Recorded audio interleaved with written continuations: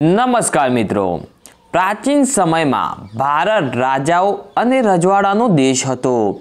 ભારતમાં ઘણા એવા કિલ્લાઓ છે, જે કોઈ કારણસર પ્રખ્યાત છે. આવો જ એક કિલ્લો હિમાચલ પ્રદેશના હમીરપુર જિલ્લામાં છે, જે આજ સુધી રહસ્યમય બનેલો છે.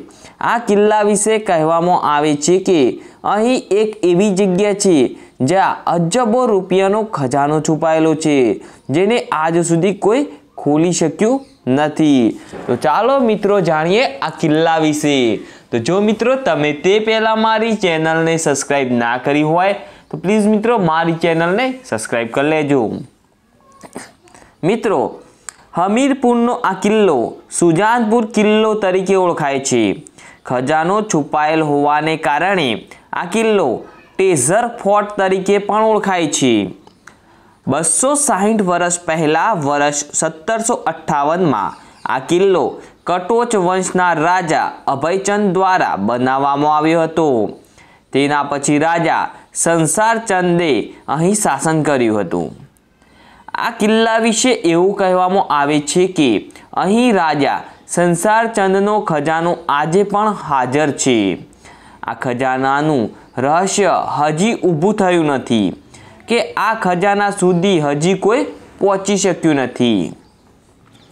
કિલ્લા વિશે એવું કહેવામાં આવે છે કે કિલ્લાની અંદર જ પાંચ કિલોમીટર લાંબી ટનલ છે, પરંતુ આજ સુધી કોઈ આ ટનલના છેડે પહોંચી શક્યું નથી.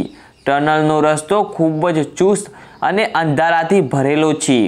તેથી આ ટનલની અંદર સો મીટરથી વધુ જવા વિશેષ કોઈ વિચારતું પણ નથી. કિલ્લાની નજીક રહેતા ગામજનોનું કહેવું છે કે રાત્રે આ કિલ્લા પરથી વિચિત્ર અવાજો આવે છે.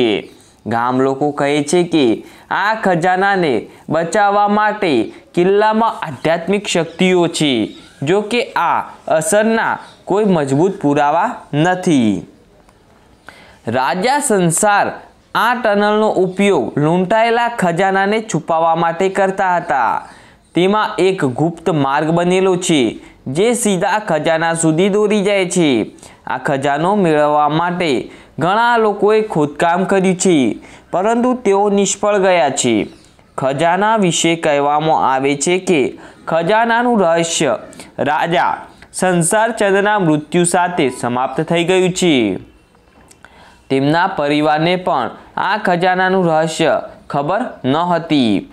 તો મિત્રો આજે આપણે જાણ્યું એક એવા રહસ્યમય કિલ્લા વિશે, એટલે કે હમીરપુર જિલ્લામાં આવેલા કિલ્લા વિશે, જેને સુજાનપુરનો કિલ્લો કહેવામાં આવે છે તેના વિશે. તો જો મિત્રો તમને આ મારી જાણકારી સારી લાગી હોય, તો પ્લીઝ મિત્રો મારા વિડીયોને શેર કરજો, લાઈક કરજો, કોમેન્ટ કરજો, અને આવા નવા વીડિયો જોવા માટે મારી ચેનલને સબસ્ક્રાઈબ કરી લેજો.